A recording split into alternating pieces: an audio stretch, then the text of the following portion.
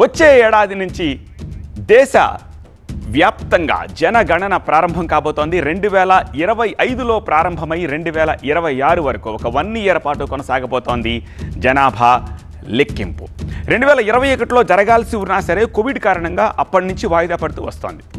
జనాభా లెక్కల తర్వాత లోక్సభ స్థానాల డీలిమిటేషన్ ప్రక్రియ ఉంటుంది.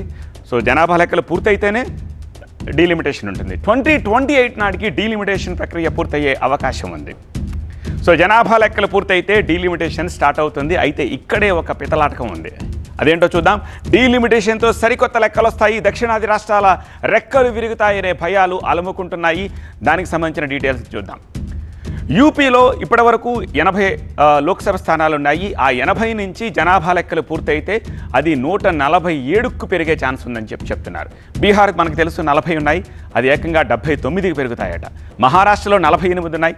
అది కూడా డెబ్బై తొమ్మిదికి పెరుగుతాయంట. జనాభా లెక్కల ప్రకారం దామాషా ప్రకారం.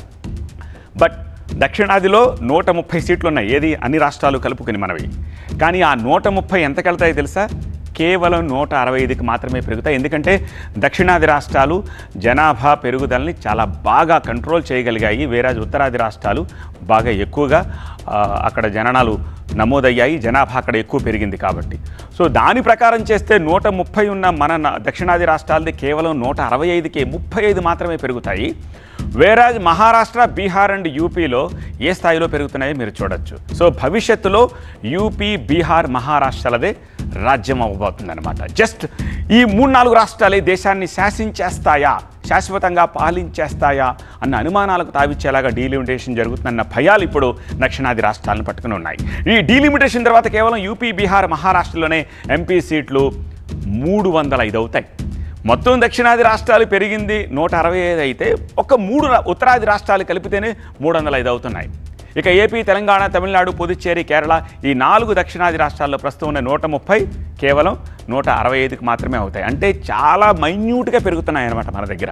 ఇక మిగిలిన రాష్ట్రాలన్నీ కలిపి నాలుగు వందల పద్దెనిమిది లోక్సభ సీట్లకు పరిమితం అవుతాయి. అంటే యూపీ బీహార్ మహారాష్ట్ర రాజస్థాన్ లాంటి రాష్ట్రాల్లో గెలిస్తే చాలు దేశం మొత్తం వాళ్ళ చేతుల్లోకి వెళ్ళిపోతుంది. ఆ నాలుగు రాష్ట్రాల్లో గెలిచిన పార్టీలే దేశ రాజకీయాలను శాసిస్తాయి. జనాభా నియంత్రణ పాటించిన దక్షిణాది రాష్ట్రాలతో పాటు మిగిలిన చిన్నా చితక రాష్ట్రాలన్నీ రాజకీయంగా బలం కోల్పోయి బలహీనమైపోతాయి. అప్పుడు నిధుల గురించి కానీ హక్కుల గురించి కానీ పార్లమెంట్లో గట్టిగా మాట్లాడి కొట్లాడే అవకాశం కానీ ఈ దక్షిణాది రాష్ట్రాలకు ఉండదని మేధావులు నిపుణులు ఇప్పటి నుంచే హెచ్చరిస్తున్నారు. మరి డీలిమిటేషన్ యాక్ట్ ప్రకారంగా ఇప్పుడున్న ప్రొవిజన్స్ ప్రకారంగా చూసినట్లయితే ఇప్పుడు బీహార్ రాష్ట్రం మనం ఉదాహరణకు తీసుకున్నట్లయితే ఇప్పటికే బీహార్ రాష్ట్రంలో జనాభా పద్నాలుగు కోట్లకు చేరింది. అంటే మన తెలంగాణతో పోల్చి చూస్తే రెండింతలుగా అక్కడ ఉంది.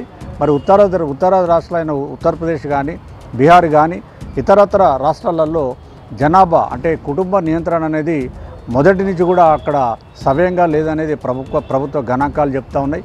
మరి ఆ లెక్కన చూసినట్లయితే ఇప్పుడున్నటువంటి డీలిమిటేషన్ యాక్ట్ ప్రకారంగా చూస్తే ఉత్తరాది రాష్ట్రాలలో ఎమ్మెల్యే ఎంపీ సీట్లు భారీగా పెరిగి దక్షిణాది రాష్ట్రాలలో కొద్దిపాటిగా కొద్ది మేరకే పెరిగే అవకాశం ఉంది.